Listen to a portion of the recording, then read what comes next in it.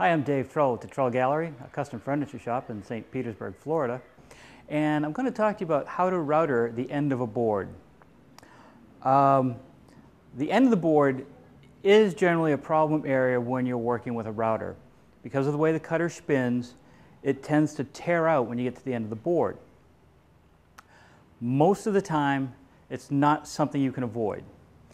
Um, there are a couple of things you can do to minimize it um, if you're just working the end of a board, what you want to do is take another board of the exact same thickness and clamp the two together so as you come across the piece on this corner can't tear out because it's supported by another piece on the side.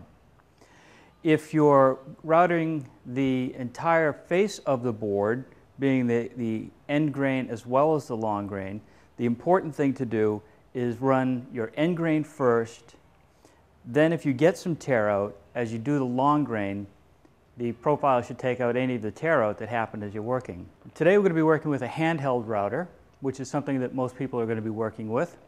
And the key thing to remember when working with a handheld router is you want to work from left to right.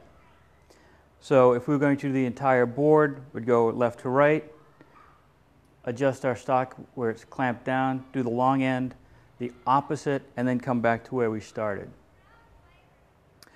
What I've set up here is uh, a round over bit in my router with a fairly deep cut. Uh, and I'm hoping that um, it's going to be deep enough that I will in fact get some tear out over here to give you an idea of what's going to happen.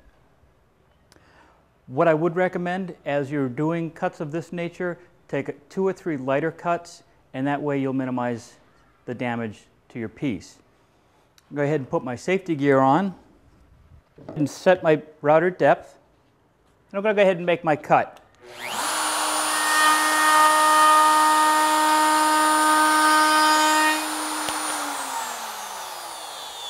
Well, despite my best efforts to have this chew up my board, I got very little tear out at the end, but it is noticeable.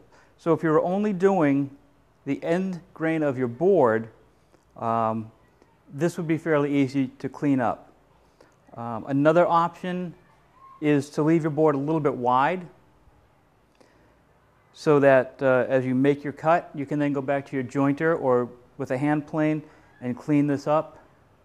Another thing you want to keep in mind is the speed of your bit, the fact that it's nice and sharp. I recommend a carbide bit. Um, steel bits are notorious for getting dull very quickly and will um, burn your end grain and also the speed at which you move your router across the stock. If you move too slow or if you have a dull bit, you're going to get burning. And burning on end grain is very difficult to sand out, especially on woods such as uh, cherry and maple and things of that nature that burn fairly, fairly easily. So that's a little bit on how to router the end of a board. I'm Dave Trull at the Trull Gallery, the fine art of furniture making.